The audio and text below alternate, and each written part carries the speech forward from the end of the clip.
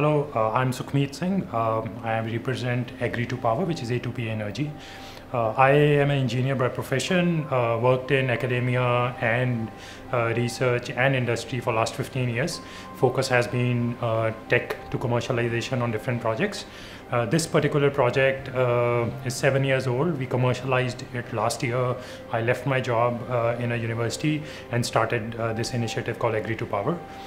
in this, what we're trying to do is solve one of the biggest problem or a challenge which India faces of paddy straw burning. 35 million tons uh, of paddy straw is being generated in two states in India every year.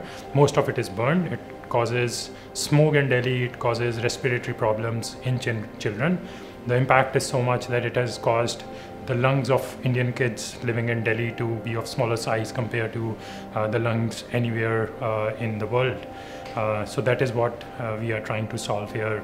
Uh, one is working with farmers. Second is uh, working with the industry on the products. We work with farmers in terms of buying paddy straw from them, which was getting burned. We produce, we give them additional income for that.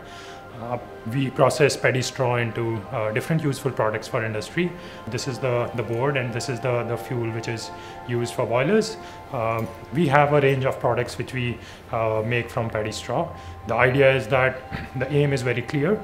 Uh, work with farmers to increase their income. Second is uh, help process paddy straw into different products so that farmers get additional income, environment gets saved, there is pol less pollution and prepare something useful for the industry which has a market value.